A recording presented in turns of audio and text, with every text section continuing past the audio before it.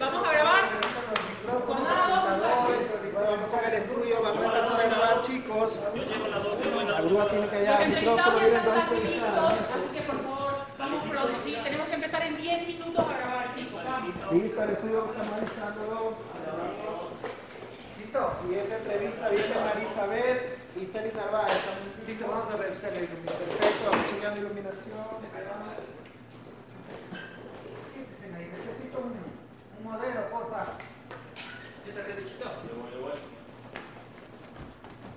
En los lugares donde van los entrevistados, ¿no? Cuádrale, Choc. Con la cámara. Estamos listos. Siéntate. Ahí viene, ahí viene Choc. canalita uno, por favor. Dile que Poncho no.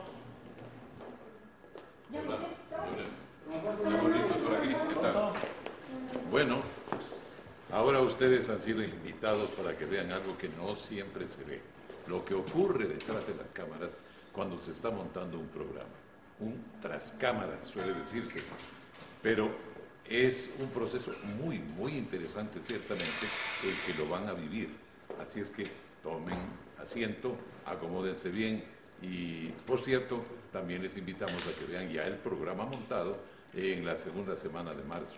Tendremos cinco programas, ya lo saben, de los 50 años de Ecualiza. Ya nos vemos.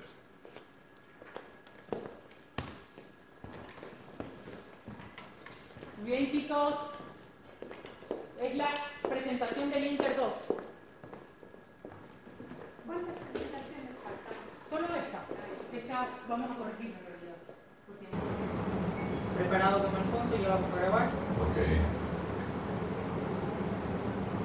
Estamos grabando, cuéntame. Prioridad, ¿no? 5, 4, 3, 2, Q.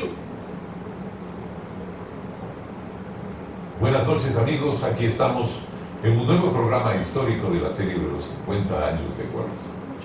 Bienvenidos. Mucho techo. Bueno, y María Isabel, eh, si recordamos, pues, el paso de Bucaram por la alcaldía fue un paso negativo. Eso todo Guayaquil lo dice, ¿no? Parecía que después de eso él estaba políticamente muy abajo. Salió muy bien, salió muy bien. ¿Salió verdad? Sí, salió muy bien, muy corta, muy concreta y muy sentido de todo lo que estaban haciendo. Estaba muy bien. Grabando.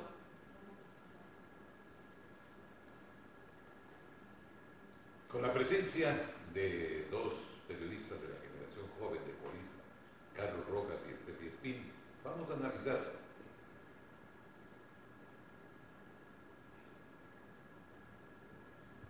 Sí, sí.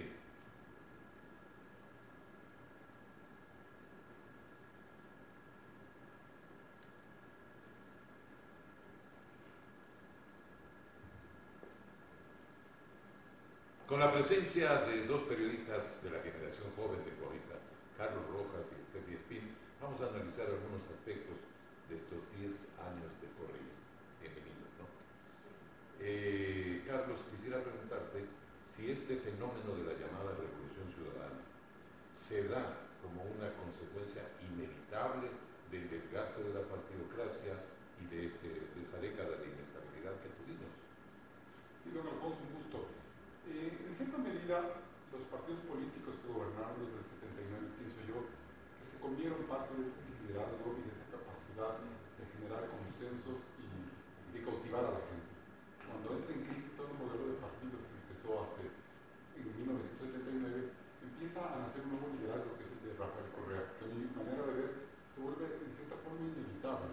Lo que no había quien compita con él en cuanto a liderazgo, en cuanto a carisma, en cuanto a un discurso que conmueva a las masas, a la gente y que le permita pensar en una idea de futuro. Creo que ¿Podrías el pacto- decir que es un cambio histórico? en una primera etapa sí, porque si vemos en algunas estadísticas tenemos que es un presidente que ha gobernado 10 años de manera consecutiva. Eso es un récord en un país inestable como el Ecuador. Las bases que se quisieron sentar muy bien hacia una idea de revolución, pero lastimosamente el ejercicio del poder devuelve al gobierno de la revolución ciudadana un gobierno similar al de los partidos políticos. Bien, eh, este proceso, eh, ¿tú crees que tiene un futuro? A ver, yo creo que una revolución Podría tiene- ser, perdóname, podría ser eh, la- el liderazgo de Correa tan permanente como fue el de Velasco Ibarra o el de Don Pérez Cordero, de liderazgos de época. Claro. Ahora, independientemente de los periodos, yo diría que una revolución tiene futuro en la medida en que significa en sí una transformación profunda social de las estructuras de poder.